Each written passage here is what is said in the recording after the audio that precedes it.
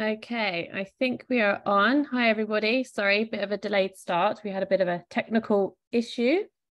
Um, so welcome. This is now our fourth webinar with Dr. Rafael Gomez. Um, today is embryo transfer. So really interesting topic. Um, very exciting for us because we've got our first one next week. So the season has officially begun. And I will pass you on to Dr. Rafael Gomez and he'll share his screen. There he is. And uh, let him take the wheel.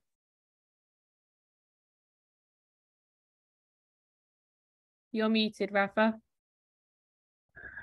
There we go. There sorry, everyone. Thank you very much for joining us today. And sorry about the delay. Vets and technology, we don't get along. okay. So here it is. Uh, as you know, these webinars uh, are going to be recorded and they will be on our YouTube page of McKee-Pownall Equine Services. So we will get started with this one then. So we're gonna talk a little bit about embryo transfers today.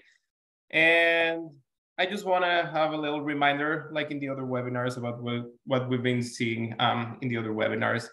So mares are classified as seasonal in long days. Um, they are polyestrous, meaning that they have uh, multiple estrus or heats um, during the season that they are um, that they are although they're cycling with their reproductive um, that they accept reproductively the stallion. Sorry about that.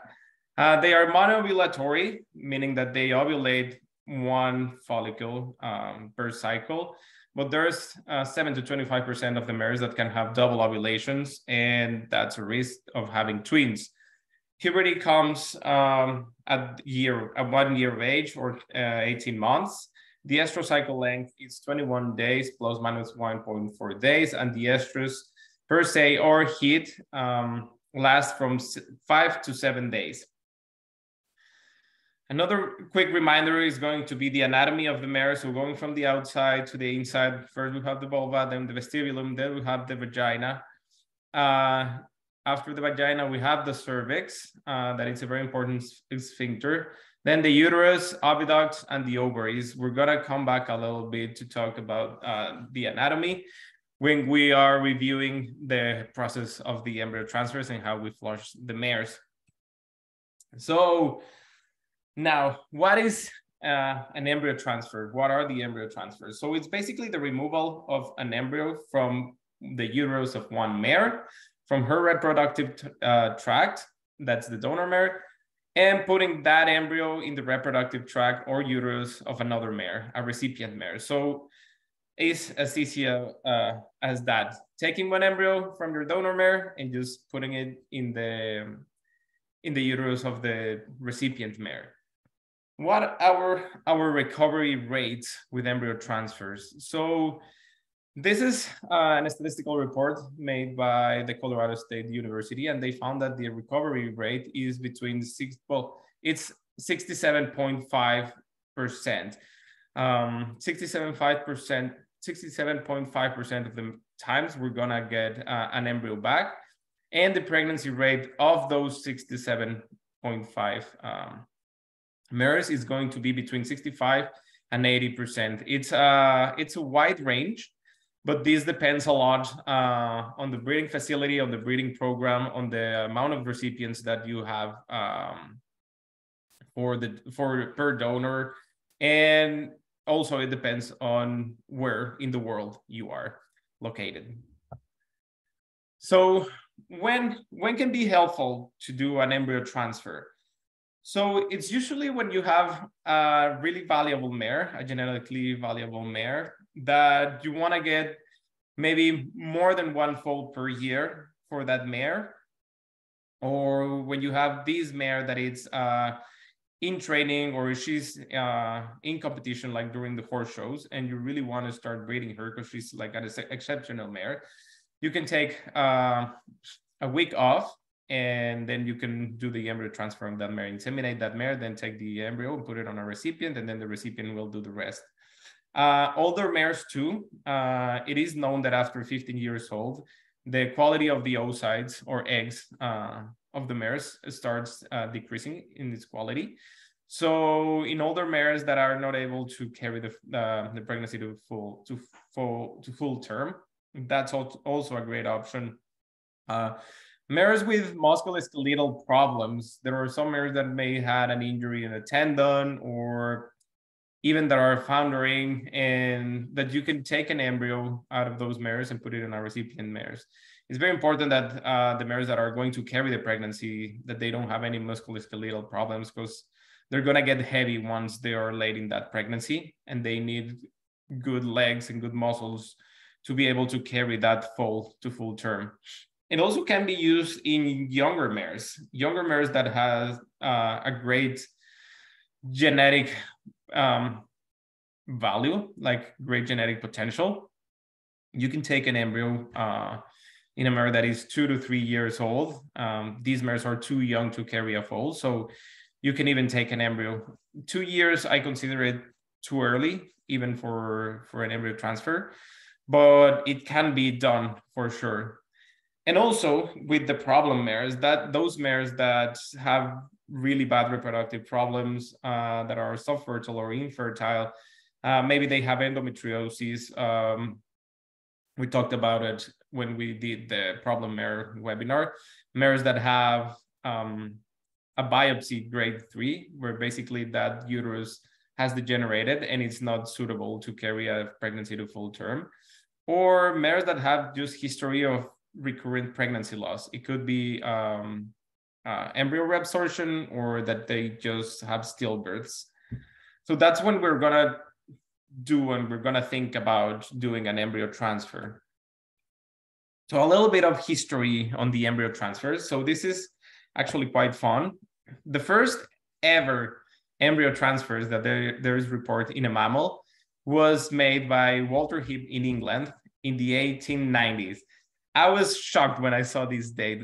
I, I was like, I, I cannot believe how he did it. It's it's a very fun uh, paper. So basically, what he did, he took the embryos from uh, an Angora rabbit, that is the white, the white fluffy one, and he took two embryos from that uh, rabbit, and he put it on the oviduct of a Belgian doe rabbit. Um, so that's the brown one. It's funny because after a month, when the Belgian rabbit gave birth, she gave birth to six little rabbits. Four of them were Belgian, were brown, but two of them were fluffy and white. So it, it's very interesting that it is a concept that has been with us for so, so long. Uh, a little bit of history on equine embryo transfer. So the first live foal from an equine embryo transfer was uh, in Japan in the 1974. So that's the first report that there is of a live foal from an uh, embryo transfer. Then the next year they did it uh, in a non-surgical way. So that's the way that we still do it. It's just like it's a transcervical uh, approach uh, and a transcervical transfer. Then the first bowl, the first foal born from a frozen thawed embryo was also in Japan in 1982.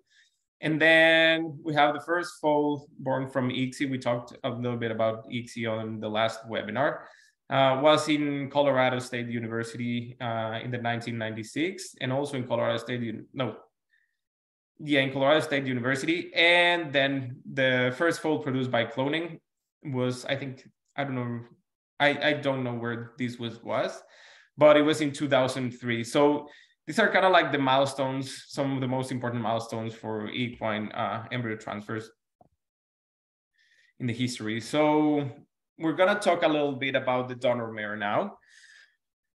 So how, do, how are we going to select a donor mare? So we want we want to work with mares that are healthy. Uh, they have to have good body condition. This is because they're going to have better cycles. Uh, mares that are emaciated or that are, are too thin or mares that are too fat, their cycles are going to be affected and it's going to be difficult to get embryos from them. Uh, we want mares that are going to be free of stress. That's the same handled because they're going. We're going to do like a lot of work on them. and ideally younger mares. This is uh, because of the oocytes uh, or eggs that they start degenerating and losing its their quality after 15 years old.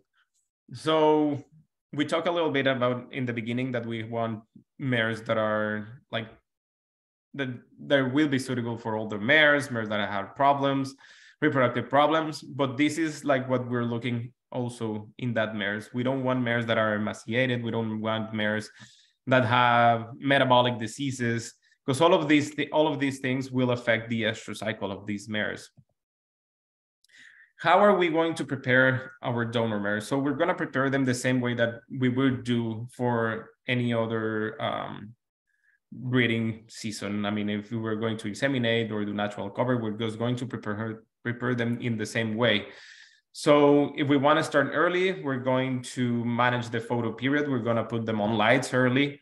Uh, we're going to do a breeding soundness exam, make sure that the uterus is fine, that they don't have um, a lot of cyst or fluids, that there is not infection. We're going to have to do a thorough physical exam, check the perineal conformation. Uh, we're going to do our ultrasound, culture cytology, the speculum, vaginal speculum. We want to see that the cervix is okay and maybe we want to do a biopsy. And this is just like it can be done, but it's not absolutely necessary. So it's basically the same as we would prepare them for any other breeding.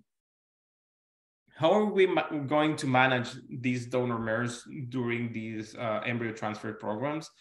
So it's going to be exactly the same as if we were doing any other uh, insemination process with fresh or cooled semen. So first we're gonna have have to find out when the mare is uh, in estrus. For this, we're gonna have to palp her and do ultrasounds. Once we determine that our mare is in estrus, that we have a big follicle, that she has good edema, that she's receptive, she's presenting heat cycles, we're going to inseminate her and we're going to induce ovulation on her. We have we need to know exactly when that mare ovulates. This is very important for this process because we're going to flush her on day seven or eight post ovulation. You can do the flush as early as day 6.5 and as late as day nine, day, day nine. But the best recovery rates are going to happen between day seven and day eight. When are we flushing in day say 6.5? When we're going to freeze that embryo because we want to we're gonna need an embryo that is going to be tiny. We need it to be um, we need to be that uh, that embryo needs to be less than 300 micrometers. So day 6.5 is uh, when we're going to do that. When are we doing day nine? If you missed the mare or something happened or you don't know when she ovulated. After day nine, embryos are really, really fragile and your your success rates are going to drop like a lot. So once we confirm ovulation, we're going to do the flush in this uh, window of time. Then we're going to talk a little bit about the recipient mare. Now, I like to say that the recipient mares are the stars of these programs, and it's it is true because even though the donor mare might be the most valuable genetically, the recipient mare is the one that is going to be carrying that foal, and it is going it's going to be the mom of that foal. She's going to be in charge of keeping of the whole pregnancy, of the foaling, then nurturing that foal, and then spending uh, like I don't know four to six months with him. So I, I like to think of them like they're the stars. So how are we going to select our recipient mares for an embryo um, transfer program? So usually we have to pick the mares in the fall or in the winter and this is mainly because if you're going to start your donor mares in lights in the winter, I don't know, in December, so they can start cycling early, you want your recipient mares to start on lights on the same day as your as your donors. You want them to start cycling at the same time. It, it's not going to be worth it if you have your donor cycling this time of year and your recipients are just like quiet or starting to transition. Uh, we want young mares three to 12 years old, it's the ideal. Maiden or multi-pairs pairs mares. Um, ideally, the ideal is a mare that has had at least one foal, but maidens can be used too. Uh, we want a mare that is similar in size to the donor.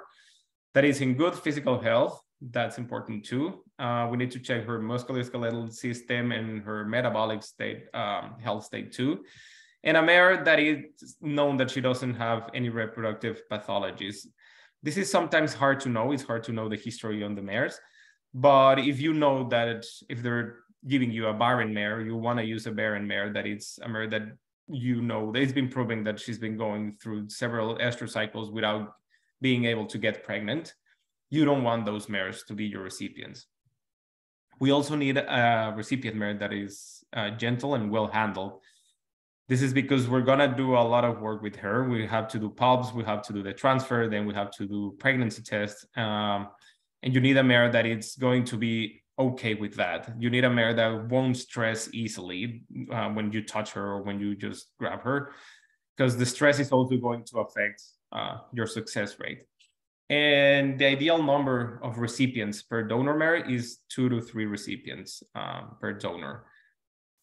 Um, one note on the similar size as the donor, this is the, the ideal. There's been some studies and it's been uh, there had been some fun studies now the, where they've transferred embryos from really really big mares to tiny mares and you can see that the the fetus adapts to the to the uterus. So it doesn't grow more than what that uterus can hold. When they are born obviously they are small and they start growing at the rate of the regular breath.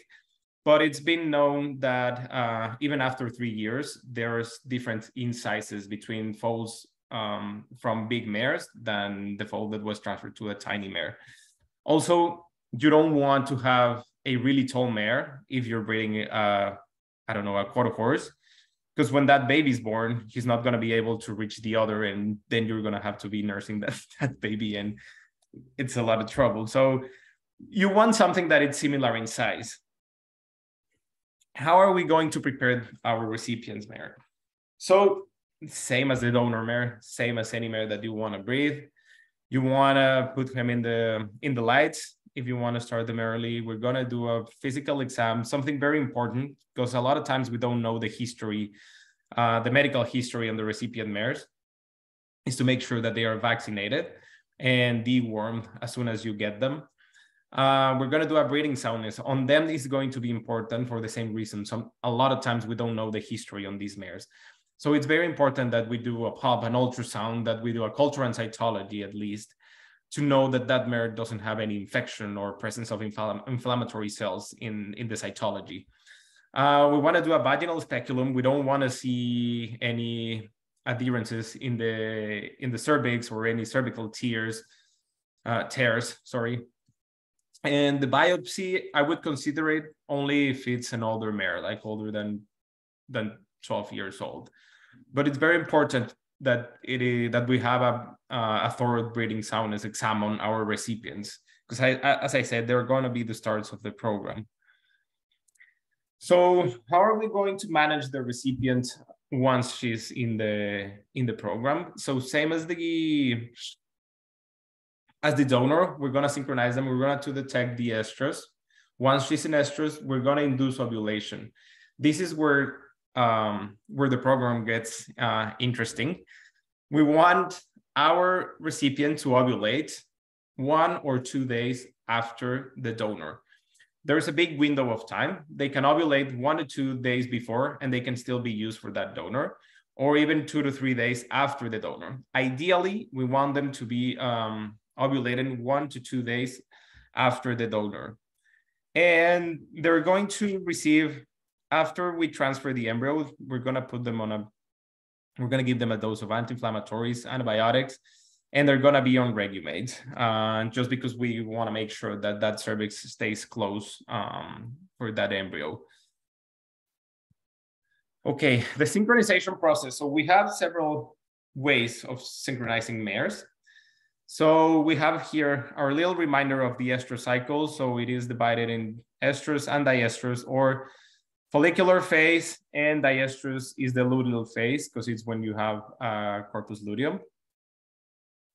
So once they're in estrus, um, if both of our mares came, um, came in estrus, then it's it's very easy because you just have to induce ovulation, and play with your inductor hormones, that is the HCG and the deslorelin, to make them uh, ovulate. So once the donor has ovulated, you want to induce ovulation on your recipient, and um, with these with these drugs, they're gonna make the recipient ovulate 36 to 40 hours uh, after the after the donor. So that way you'll have that perfect window. Obviously, not all of the times works that way. So there are different types of um, other drugs that we can use. There's uh, the Lutalyse of the Estrumates is PGF2 alpha, prostaglandins. This is used to short cycle. So that's another way that, uh, on how we can um, synchronize our mares. If you have a mare that um, that just ovulated, and you have two mares that are in diestrus, you want to give the prostaglandin at the same time. So those mares coming to heat uh, kind of like in a similar uh, time, and then you can play in that diestrus uh, phase with the with the prostaglandins to in order to synchronize the mares. It depends a lot also in the follicular stage that they have during diestrus, but you can play with the diestrus here. Uh, with the HCG and deslorelin, as I mentioned before, they are just um, ovulation induction agents. So once both mares are in heat, you just have to play with the hours uh, of these where, where they work. The photo period is also important uh, for the beginning of the season. When you're starting the season, you want both mares to be cycling. And then there's another treatment that is the PE treatment, progesterone plus estrogen. I put plus minus because it could be done only with progesterone. You have better results with uh, with the two drugs. So this what base what basically basically what you're doing with this is you're putting your mare in an artificial diestrus. So you put her uh, on the P&E treatment for 12 days. You make her think that she's in diestrus, and then you give um, a prostaglandin injection and then both mares are going to come back into heat, kind of like in a similar time frame. So this is what I was talking about um, for the synchronization process. We have the day of ovulation, that's our day zero. We want our mares, our recipient mares to ovulate one day after or two days after the, the donor mares. So when we're doing the flush in day seven or day eight, these mares are going to be in day five or day six, depending on when we are doing the flush. This is the ideal time frame. But if our mare, if we only have one recipient and say that that recipient went fast in the heat uh, in her sick and she ovulated one day before our our donor mare, she still can be used uh, and is still a good recipient to use. So we're gonna talk a little bit about the process how do we do the embryo transfer? How do we um, how how do we do it? How is it going to look? So first we have to recover the embryo, and this is the process that our donor mare is going to to have. So for these, we're gonna have a bag of fluid connected to a catheter um, that is going to have an inflatable cuff in the tip. So we're gonna pass this catheter through the cervix. Once we pass the cervix, we're going to inflate this cuff and we're going to create a door and we're going to seal that cervix so we don't allow any fluid to go back uh, from the cervix. So everything has to come out um, through this catheter. And then it comes through this Y junction to an embryo uh, filter. It's just a filter, a 75 micrometer filter that won't allow the embryo to go um, to to to to overflow just to go to the other recipient that is going to be uh, underneath the filter. So how it works, it depends on the mare and it depends on the size of the uterus. But we're gonna pour fluid. It can be one liter, it can be two liters. That depends on the um, on the size of the mare and the uterus of the mare. If it's a mare that has had um, previous foals, uh, she's gonna have like a more more uh, like a bigger uterus and a little bit more saggy. So it's going to need more fluid but if it's a maiden mare, she might not need a lot of fluid. So we're going to fill the uterus.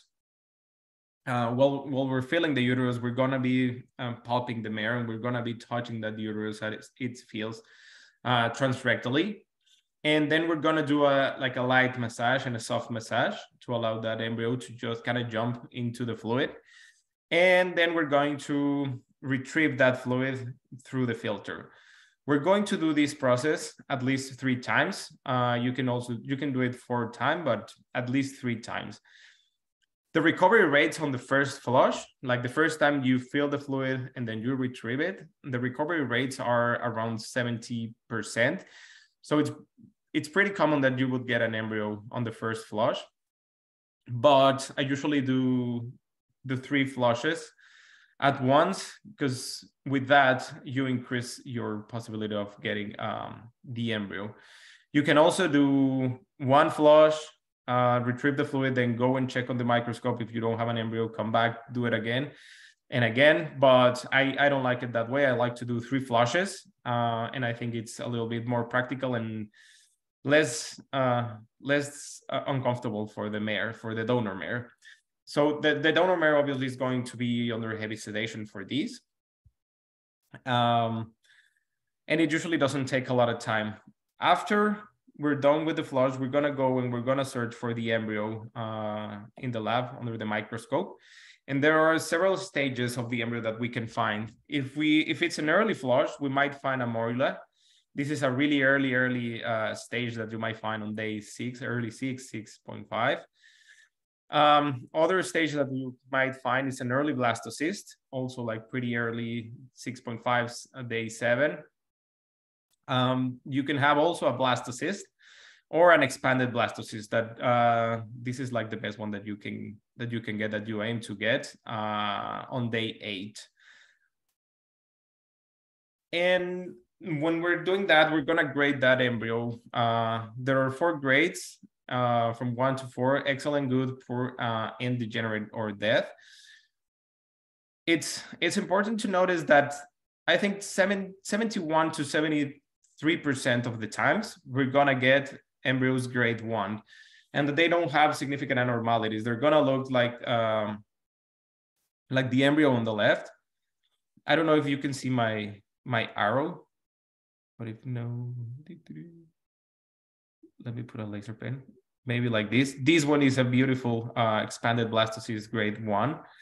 This is also a grade one. This is a grade one. This it looks a little amorph and it has a little bit of uh, extruded blastomere, so it might be a grade two, but it's still a good uh, a good embryo. This is this one is also a grade two embryo that it has minor imperfections, but they are good embryos to be used. Uh, when you have a grade three uh, embryo or grade four, your success rates are going to drop, um, and it's going to be more difficult for that embryo to to thrive.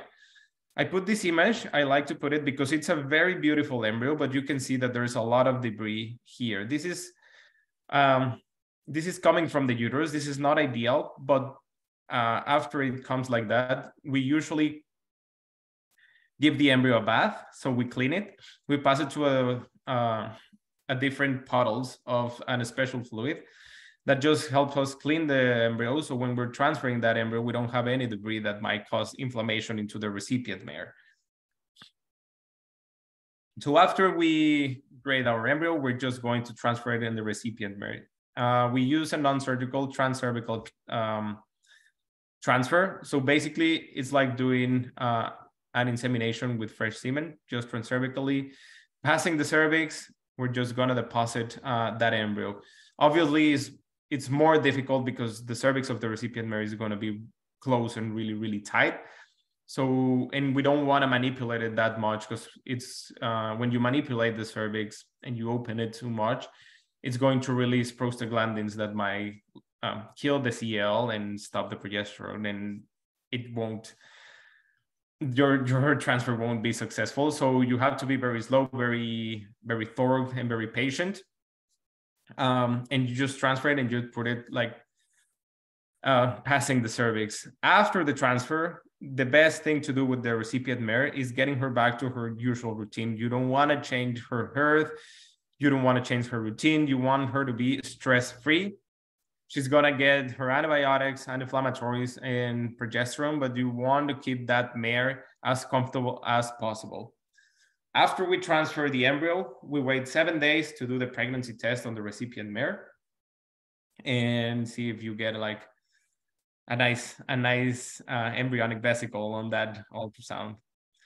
So what are the factors that can affect the embryo recovery? And this is just speaking about the recovery.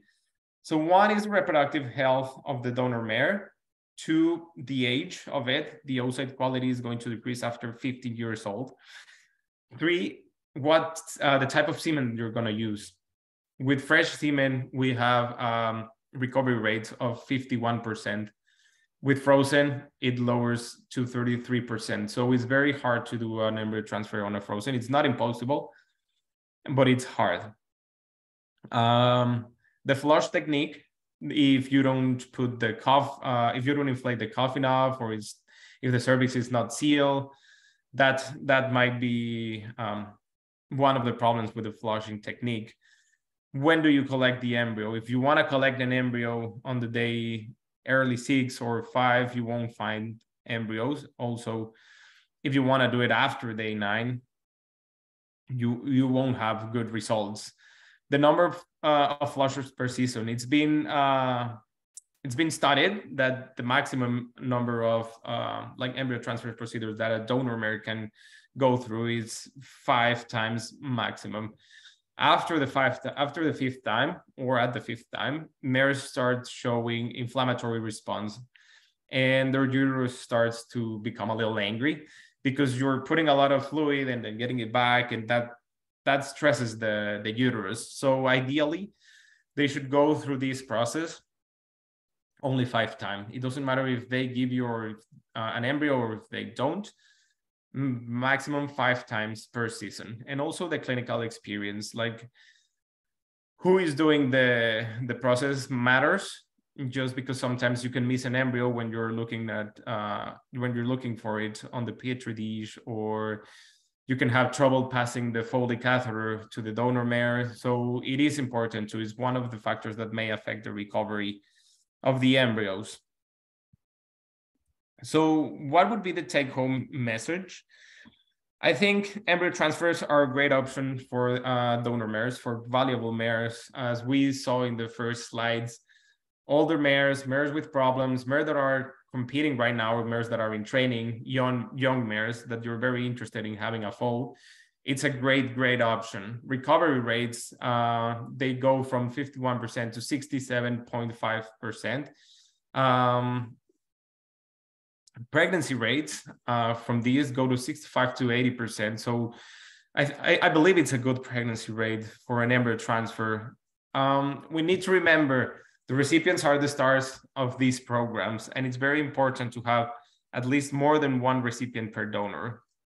We can we can work with one and one, but it's going to be more difficult if if the recipient comes with a problem. Uh, you you're not going to be able to inseminate your mare or if you already inseminated your mare and that uh, recipient start having making fluid or having a I don't know like an endometritis uh, process, then you you end up with a with a tough decision if you let the donor mare like carry the pregnancy or you take the embryo and you have to freeze it and freeze it and there's there's it, it gets more complicated. So it's ideally you want more than one recipient per donor.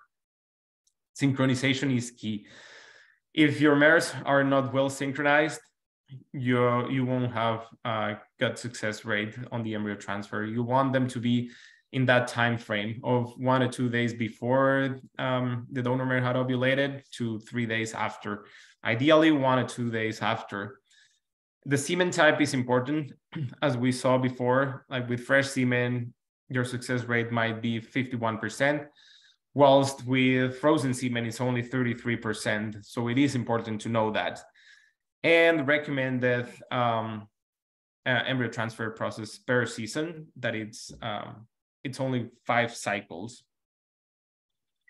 So I really hope you guys like this talk a little bit of embryo transfer. It's a very wide topic. I try to really summary everything, well, almost everything. Um, it's a topic that I really, really like. I enjoy talking about it and I, I really love doing it. So I, I, I really hope you like it. If you have any questions, please, please feel free to put it on the Q&A box.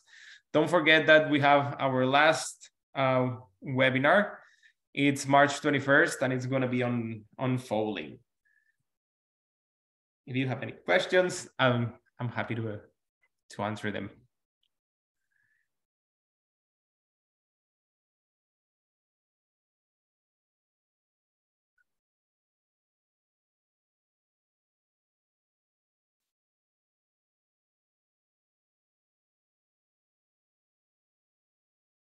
I actually have a question, Dr. Gomez. Yep. If a mare, if I remember correctly, only ovulates with one egg, how can you get multiple flushes from her and the from the donor and use multiple recipients? Oh yeah, yeah, yeah. Uh, thanks, Steph. Well, what I mean when you're doing the flushes is uh, per cycle of the mare. So you have your mare, um, she ovulates, you do the process. Um, if she gave you an embryo, great, you have your embryo. If you don't have, if you don't get an embryo, well, you do it again, but you do it again in the next cycle. So it's basically five cycles per mare. But you, t- you touch a very like interesting point that it's um, super ovulation in mares. It's it's a difficult process, but it can be done and you can aim uh, for your mare to ovulate two follicles with hormonal stimulations in one cycle. So if you have two follicles, ideally you want them uh, one in the right ovary and the other in the left ovary, and you want to uh, literally you want to make your mare ovulate double so you can have twins.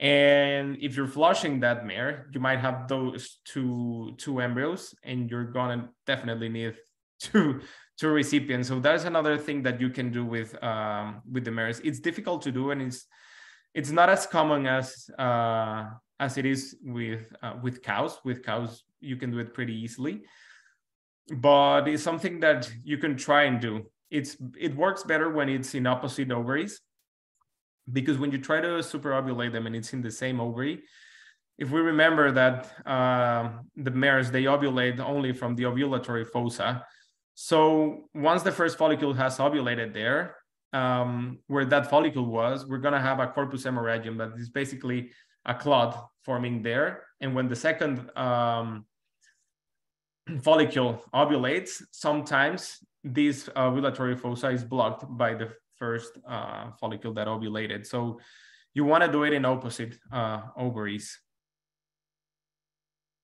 Cool. So we have another question. Yeah, we have another question. Here, is there a special fluid used to flush or regular saline solution? This is a really good question. You can do it with regular saline, but it's recommended that you use a special recovery, um, a special flush fluid. It basically has a surfactant type uh, of substance that doesn't allow the embryo to stick to any of the walls of your catheters. So embryos can be a little sticky. So that's why they use this surfactant um, um, uh, substance. It's usually PVA, uh, or they used to use, I think, uh, bovine bovine serum, I think. So it's basically that it does that, and it allows the embryo to be more protected. Uh, it usually has some. It can have some uh, nutrients for the embryo, but at the end, it's just for the flush. After the flowers we're gonna put the embryo on a on a special uh, media that is called holding. That one is the important one for the embryo to be in. You can do the embryo flush with saline, but I would recommend using the the special fluid.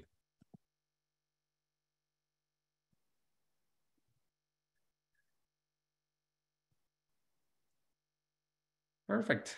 I don't think we have any other questions. But if you come up with a question, please feel free to reach out to us on any of our social media web pages and I can answer it for you.